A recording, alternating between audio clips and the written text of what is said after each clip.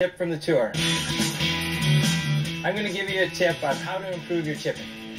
My chipping philosophy is pretty simple when it comes to getting it up and down around the greens, and I think it could help uh, the everyday player, the amateur around the country.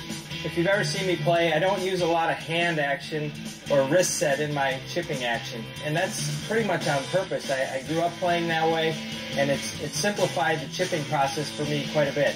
And I pretty much just chip with two clubs, a 60 degree sand wedge and my 54 degree for like a longer pitch and run or something where I need to carry it a little bit further. But uh, I'll go ahead and show you my 60 degree chip shot and I, I set up to it uh, just like, you know, if I was just going to hit a normal chip shot, I put the ball maybe slightly forward. Uh, my hands are pretty much straight over the ball.